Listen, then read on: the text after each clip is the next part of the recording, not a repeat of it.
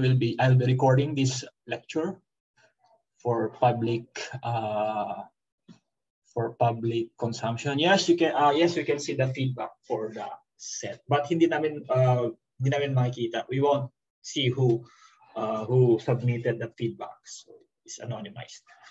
Okay? So yeah.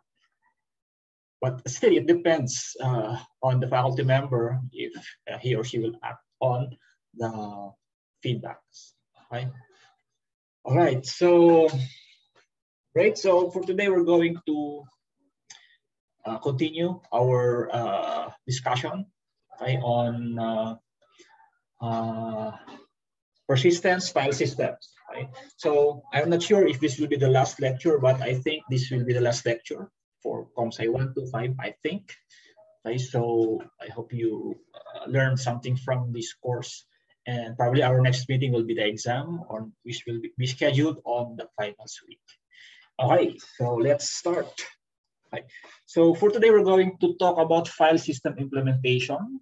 Uh, last time we talked about the file system API. We discussed the different system calls that are that can be used by programmers or developers to access file system related operations or to perform file system related operations like opening a file, reading a file, creating a file, deleting a file. So today we're going to focus on how these system calls are probably implemented in the context of the, of the file system.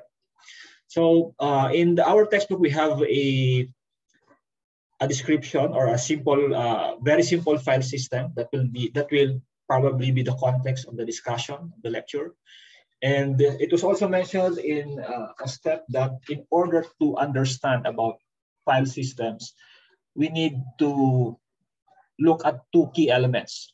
The first one is the on-disk data structure, which basically describes how the data or the meta metadata are organized on the file system. So, so what, what we mean here is that uh, the file system is basically just an abstraction, similar to the way we look at virtual memory, right?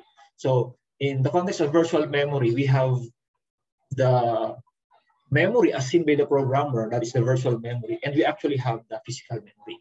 Right? Similar to file system, we have the disk, which is the actual storage of data, and then the file system will just be an abstraction right, on how uh, these data are actually stored on the disk. So in order to understand, to learn about how file systems are implemented, we, we try to look at the data structures that are being used by a specific, uh, a particular uh, file system implementation.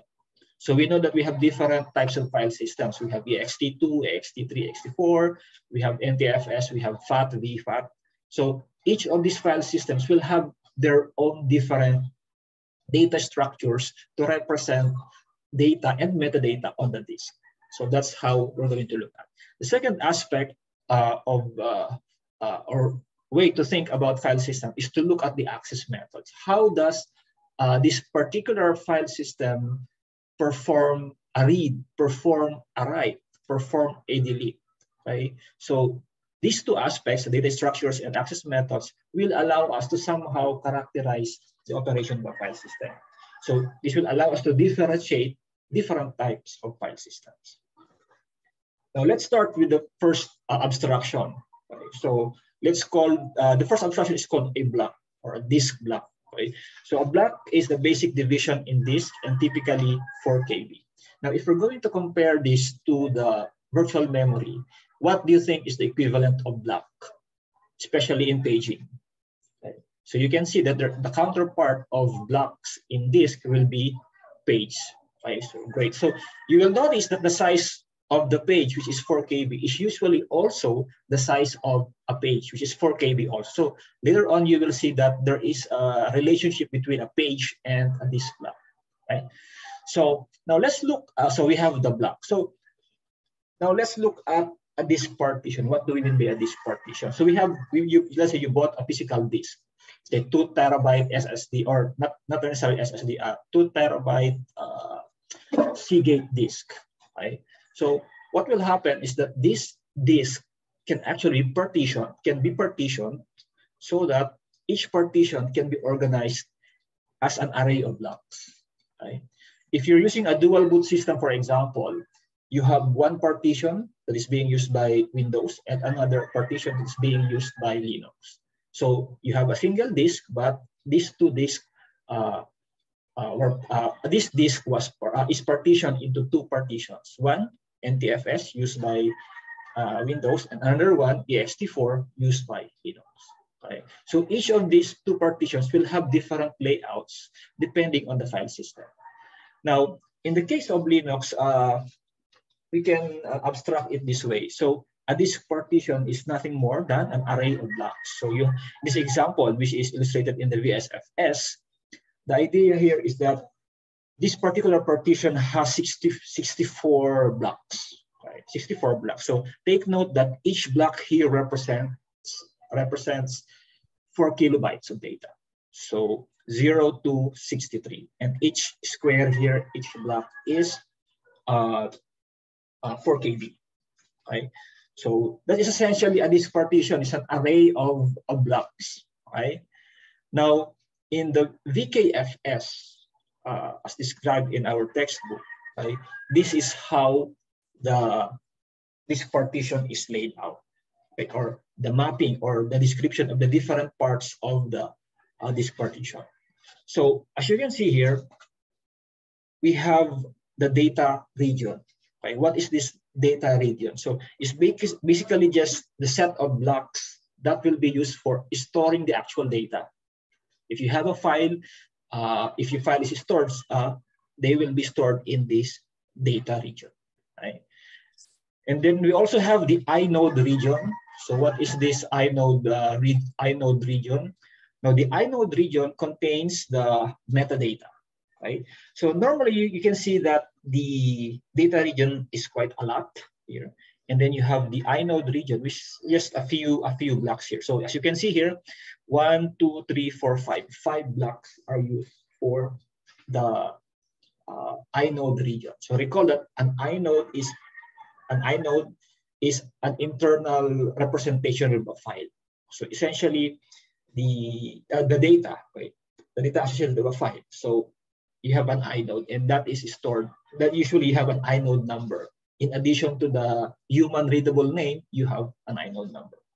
So, so this is an example of an inode, and usually the size of an inode that describes a file is 128 bytes or 256 bytes. Now, now recall that each square here represents 4 KB. So how many, how many, you'll see later how many inodes can fit in a single block. Basically, just divide that, right? And then we also have the data bitmap, which, uh, which describes which data blocks are used or unused. So bitmap is a data structure, right? It's basically uh, uh, an array of bits, right? and then you can just uh, perform bitwise operation ones or zeros. One if if a particular block is uh, occupied, zero if it is not occupied. So for example, uh, a particular value in that bitmap is set to one, then that block is used. Right? Now there are two types of bitmaps. We have the data bitmap, which is used to determine which block in the data region are available or not, and then also have the inode bitmap, which uh, describes which inodes here can be can be used. Okay. So and then lastly we have the super block. So the super block is it contains the information about the specific file system. So it it is different for each file system. So each partition will have a super block. So a super block for ext4 and a super block for uh, NTFS, for example, if you have a dual boot system. Right? And on mounting a file system, the OS will actually read the super block and then read the information on the super block and then perform the necessary tasks or operations to be able to use that file system uh, by the operation to be to be able to allow the operating system to read that particular file system, right? Uh, during the early days, uh, I used to have a du uh, I always have a dual boot system. So whenever I have a new computer, I have a Windows partition and I have a Linux partition. Now during the early days, Windows partition, uh, the Windows OS cannot actually access my Linux partition. Okay? So I think it was in Windows uh, XP. So I need to have a, a separate tool to uh, to be able to read the Linux uh, file system. Okay, so but in Linux there's also the same the same uh, the same scenario. I cannot read the win my Windows partition. So whenever I have a file that I would like to access uh, on both Linux and uh, Windows, what I did is actually to create a data partition. And that data partition will just contain data and the file system for the uh, data partition, I use uh, FAT, FAT32 okay? because FAT32 can be used by both, uh, can be read by both uh, Windows and Linux. So whenever I want to access a file both on Linux on, and Windows, I place that data on that particular FAT32 file system. Okay? But uh, Windows 10 and modern versions of Windows and modern versions of Linux actually uh, evolved and they can now somehow natively uh, read both uh, ext4 or, or NTFS. Okay, so the sharing of information is uh, straightforward nowadays. So just as just a side story on the evolution of file systems and the struggle that I was experiencing way back when there was no uh, native support for NTFS and ext4 on both uh, Windows and Linux. So again, so mounting a FSOS resource block. So I have here uh, some screenshots, screen grabs. So the command in Linux is fdisk to examine the partitions in the of the disk. So let's say here, this is my VM. So uh, this one here is checking the partitions on the ICSOS, right? So what I did here is to mount the ICSOS floppy image. And then of course we have the loopback device slash the loop one. And then I simply fdisk minus L to check the information of that loop device, which corresponds to the floppy disk. And you see the information here that the size of the disk is 1.42 MB, which is actually a, a floppy disk, right? And then this is the, uh, the total number of bytes for floppy disk and then the number of sectors. So, so these are uh, wrong information because I'm just actually accessing a floppy disk. Now this one here is the actual uh, partition okay, for my for the VM, okay, the disk allocated for the VM for my Linux VM.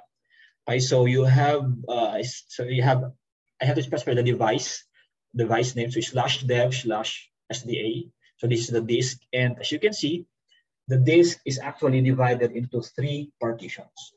So you have SDA1, SDA2, and SDA5, and they have different uh, uh, parameters. But actually the root partition, the file, the data that I access within Linux actually in the dev SDA5. So as you can see here, this is the main Linux partition. So these are just the other partitions usually with limited sectors are just uh, uh, some of the conventions okay, when, when, when, uh, when partitioning a disk. Right? So, but the focus is actually this one, dev SDA5. Okay? Because we only have a single partition in this uh, in this uh, in my setup. Okay? So, yeah. So then we have inodes. Okay? So uh, this screenshots uh, is just illustrates that, as I mentioned, that everything in Linux or in Unix is basically treated as a file, right? And we know last time that the stat command will allow us to view information about a file. So here, what I did is to perform a stat on slash dev SDA file. So remember that slash dev pertains to device files. So this one here, dev SDA 5, so I'm trying to check the information about uh, this uh, partition SDA5 as shown here, which is the main Linux partition that I have. And you will see the information about this SDA5. So it has a uh, an inode number 338, as you can see here. It's an inode number 338. And there is an indicator here that is a block special device. Right? So recall that in, in the previous meeting, we talked about files, regular files, and directories. But in addition to these regular files and directories, Linux also support special device files. So as you can see, uh, dev SDA5, which is actually a partition on the disk, is a block device, so block special file. And you see some access permissions here. And uh, yeah, okay, so these are the device type. Now I also tried to perform a stat on dev TTY. So dev TTY, probably you've uh, seen this control alt F1. So it's terminal interface, basically keyboard, a teletype interface to accept input. And as you can see, it's also a special file, but this time it is a character device file. As you can see here, so character special file, and then it also has an inode number, which is 21. So you will notice that the inode number for this is quite small, right? Why? Because this uh, the entries, these inodes were actually created early early in the setup of the operating system, probably during setup of the operating system. So you see that the number here is 21, right? Uh, which is very small compared to, let's say, you just created a new file and then you perform a stat on the particular file and you get a very large number, right? And then and here's an example the directory. Okay, so you will notice the stat temp here. So you will see that the inode number is very large right? Because the temp slash temp probably was created uh, late in the installation process, right? In the setup process. So this time it is a directory. It's a special device, it's a directory. There are several links to this and it has specific size, right? You will notice that the special files don't have sizes, you can see here. And temp here has a size of 1496, okay? So let's take a look at the inode table in the SFS. So uh, as I mentioned earlier, this will be the layout of the partition, and this will constitute the uh, this part here, okay, zero to seven, this part here, okay. So you have the super block, okay, zero to four KB, okay, so that's one one block, and then the uh, the inode bitmap 4 KB to 8 KB. So always remember that when we talk of KB, we always multiply by 1024. Okay? It's not 1000, but rather 1024. So 8 KB to 12 KB, that will be the data bitmap. And then we have the inode block. So as you can see, uh, we have one, two, three, four, five, five inode blocks. Okay, so so one, two, three, four, five, zero to four. And uh, since the size of the inode is 256 bytes, therefore in one block, we can have 16 inodes, right? So you can have 16 inodes and since, since we only have uh, 79 inodes, then we can have only probably 80 files in this particular file, very simple file system.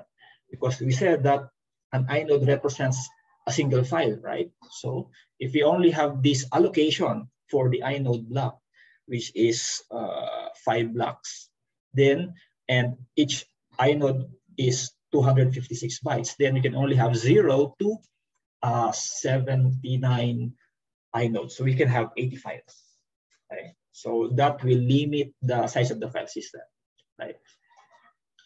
So yeah, and uh, okay, so that's basically the idea of the inode table. So uh, let's say this one inode zero will represent the uh, specific file. So let's say let's look at this example.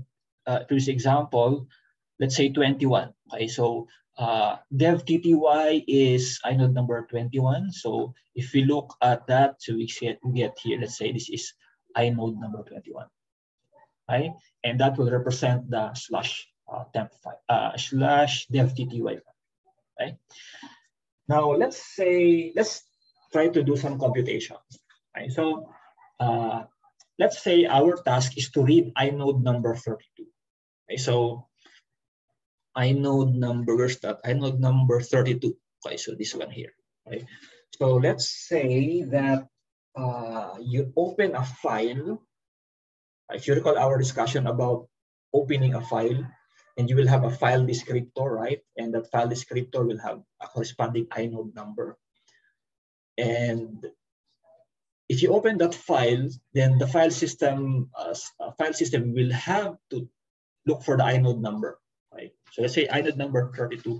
What will be the steps that will be taken to, to do that?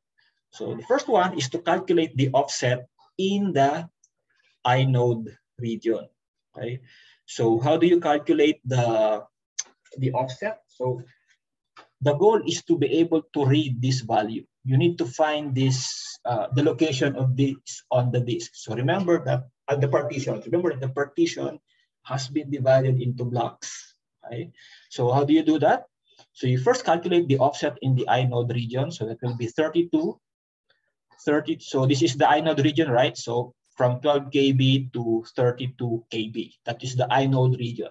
First, try to get the offset here. So this will be 32 times 256. So that will be, this one will be 8192. It will be the offset on the inode region of this particular inode.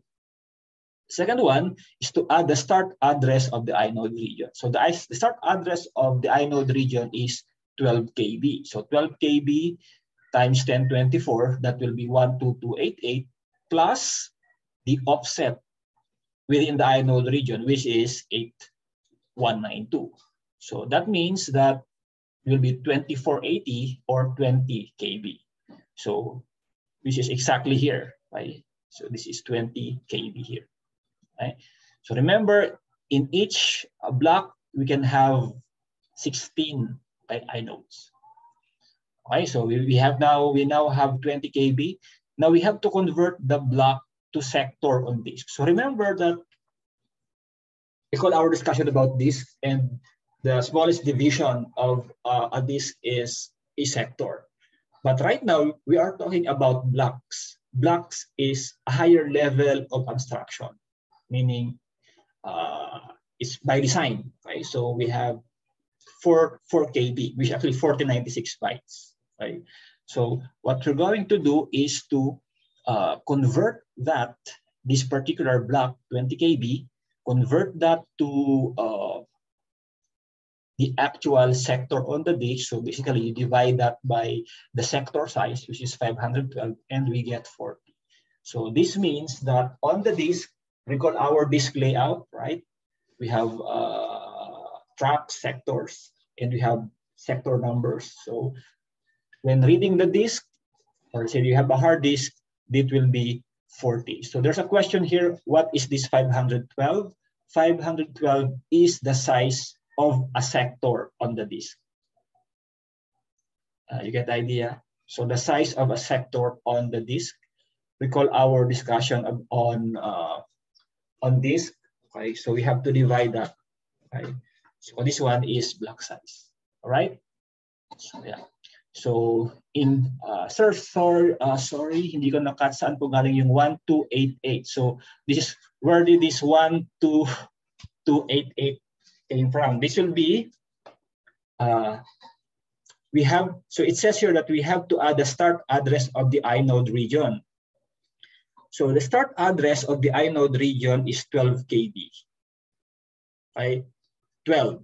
And 12 times 1024, right?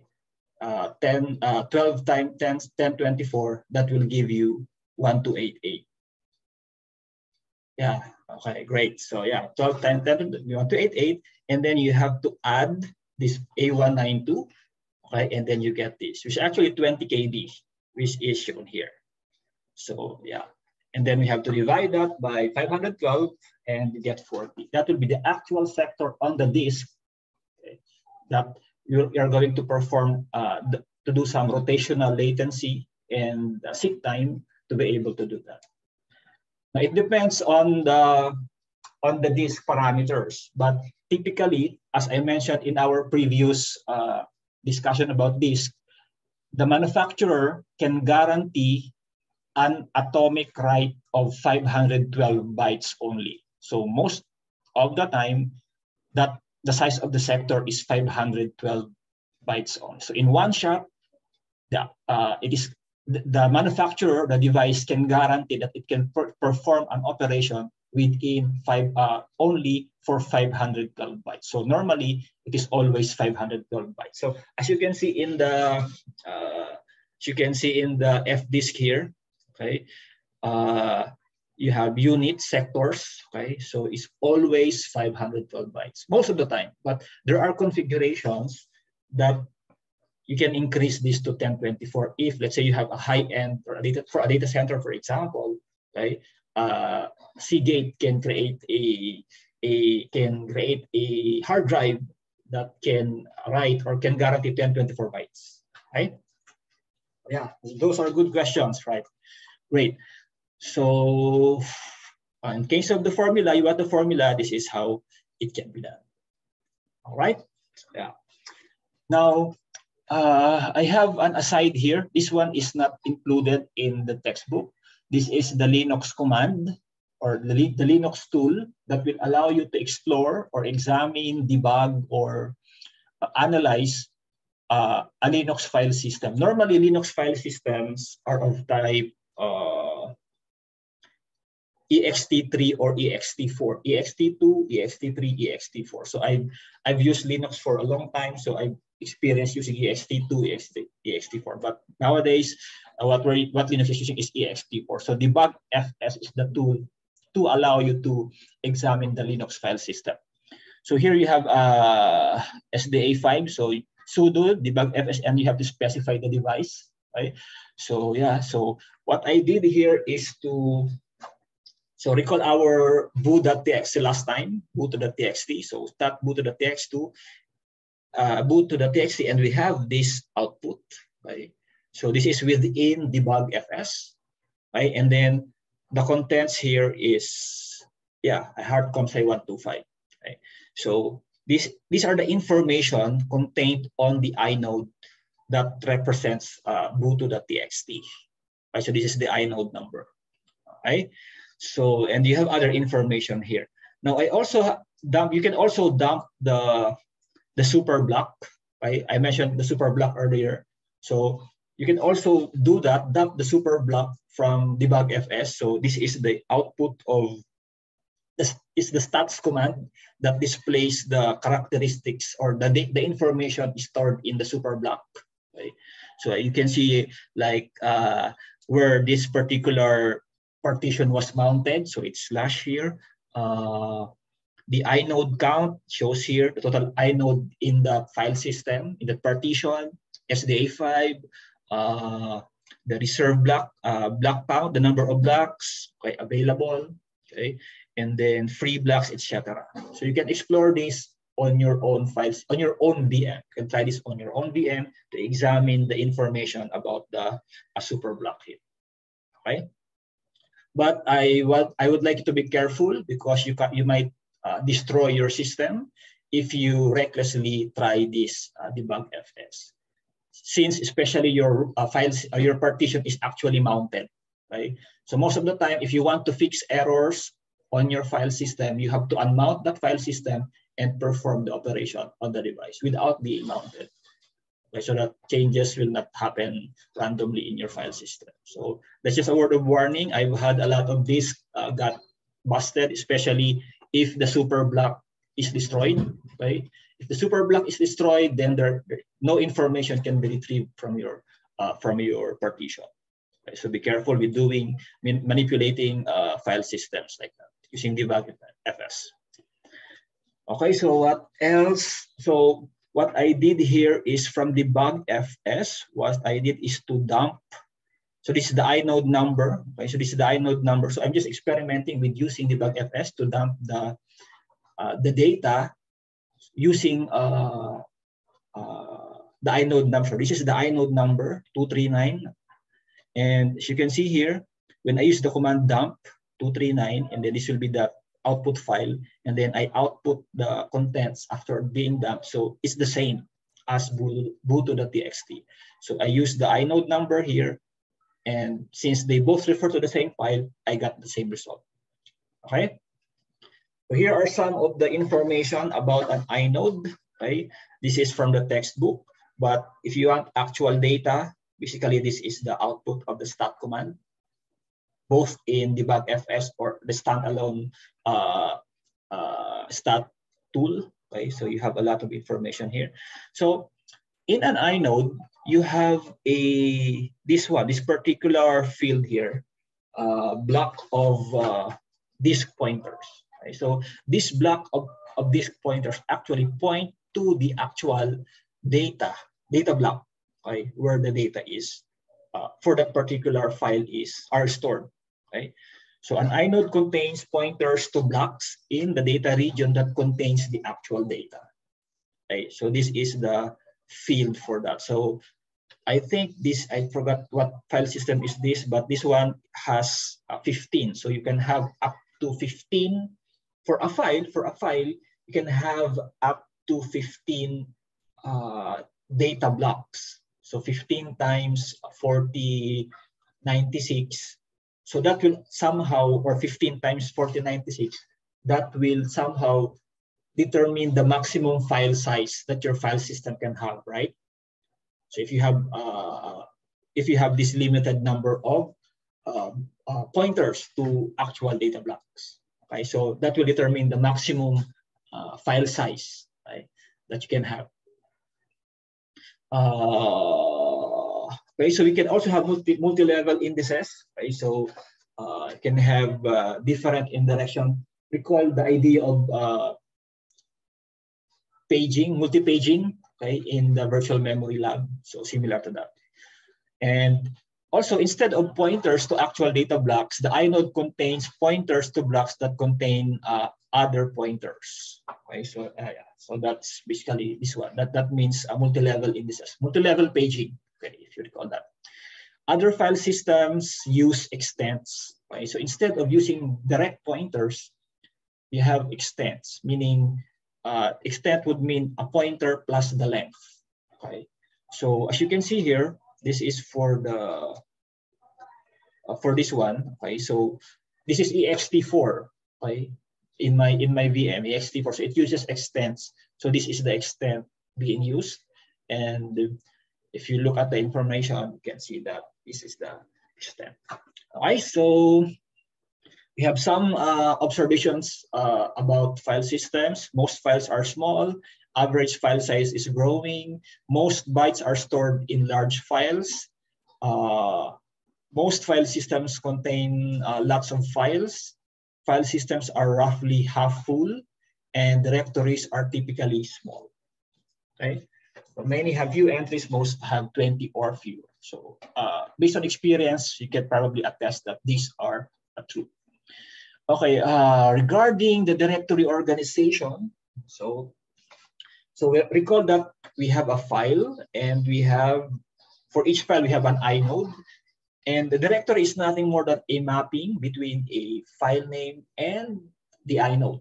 So here you have, I have an example, what's this? Uh, I think this is an inode for temp, this temp folder. Okay, so I have this uh, information for that uh, temp folder. Okay, and uh, this one here is from the book. So basically just a record that describes a directory. So you have the inode number and then the name. So this, those are the basic information for a, for a directory, the name of the file and the inode number right? So that you can look look for, for this particular file. And then you have the record length and the string length, right? So you can have a pretty long uh, file name here. So what I did here in this illustration is, again, I opened the uh, SDA5 and then uh,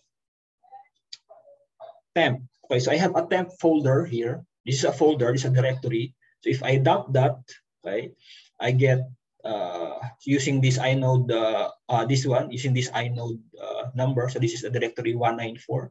So when I dump that, so I get a debug fs for the temp folder.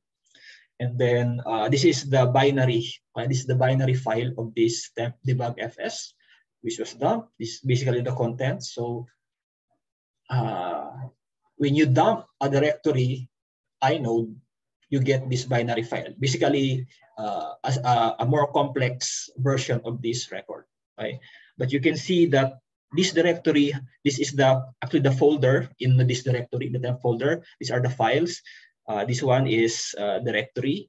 This one is a file, and this one is a directory. And you can see uh, this is a the temp debug fs here is a binary file, so you can use od to hex dump that, and you can see the file name install Monaco font, which is this file, and then you can also see the uh, the folder CD8L Lab 01 Niels Sarias. Right? Are you here? Okay, and then so, and then we have uh, the sample folder.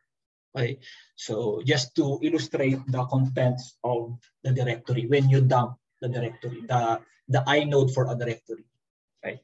The data, okay, for a particular inode.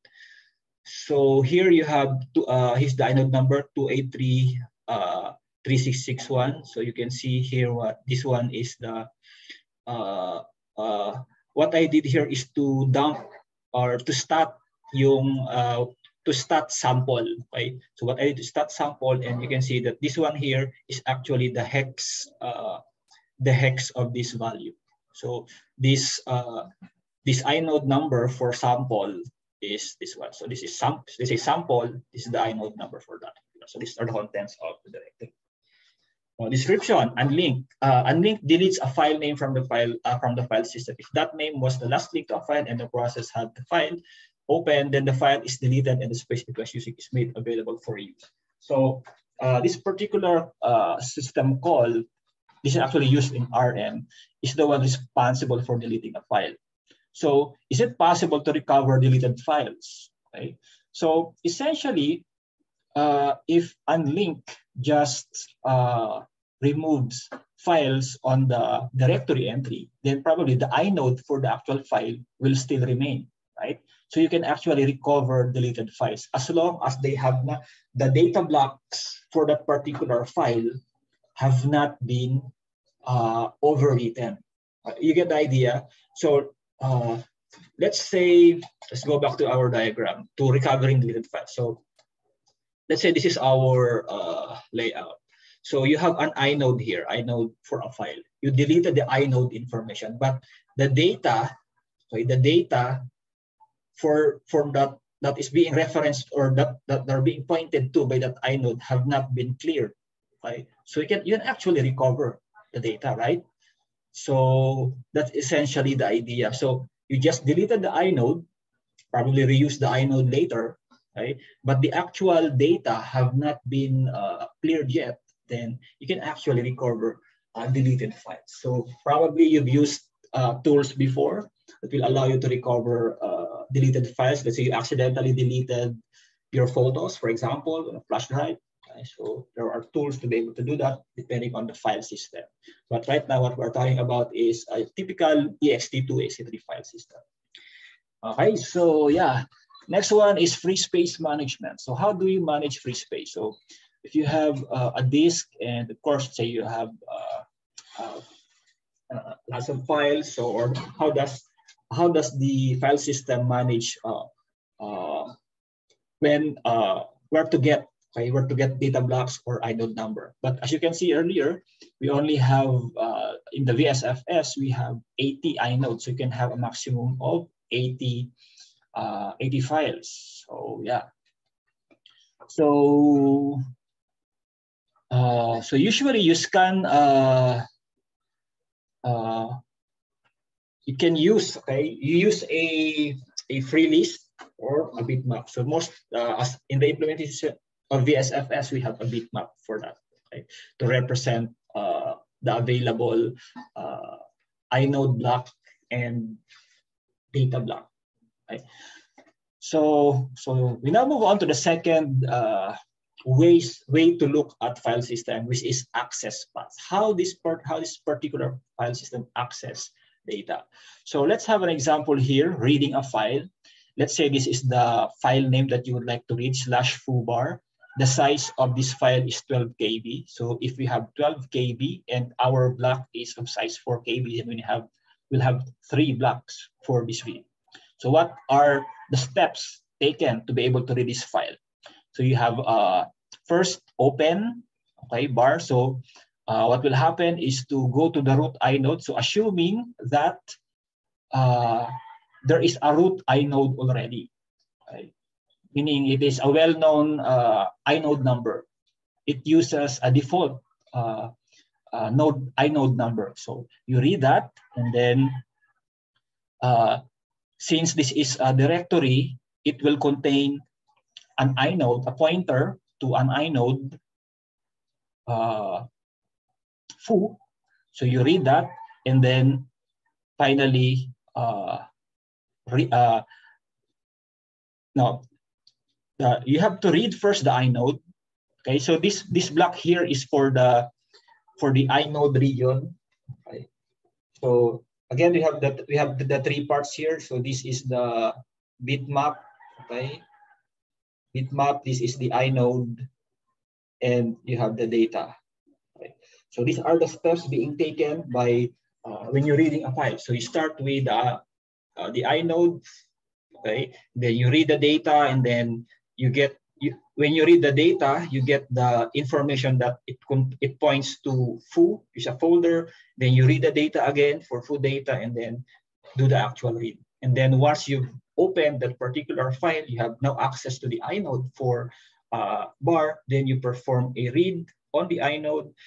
Uh, you need to read the inode bar. Uh, you need to read the bar inode because you want to know the pointer to the data block. So once you know that, you go to read that bar data, first block, and then second block, and then the third block. So these are the operations necessary to be able to read that particular file, okay, given these parameters.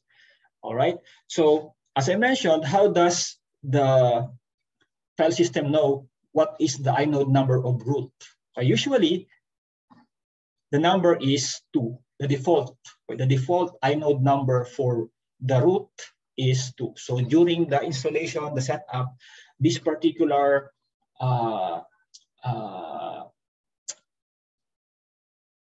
folder or directory, which the root of the file system slash is given an inode number two.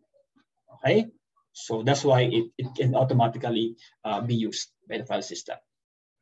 Now for writing a file, uh, it's almost the same. Again, you have the uh, the bitmap block, you have the inode block, and then you have the data block. So if you want to create a file, first you need to go to the, so let's say we want this, this file does not exist and you want to create that. So first you have to go again to the root inode, read the data, foo inode, read the data, and then you go to the inode bitmap. Uh, you, you have to read the inode bitmap because you're creating a file. When you create a file, you need to create an inode. So go to the inode bitmap, look for an available uh, inode that you can use. And then you perform the write on the inode bitmap once you have determined what inode number is that. And then you go to the data. Okay, so you go to the foo data, right? And then you update the information that you're creating a file within this folder. And then uh, you read the bar inode and then write, etc. And then you get to write that three blocks for that particular file.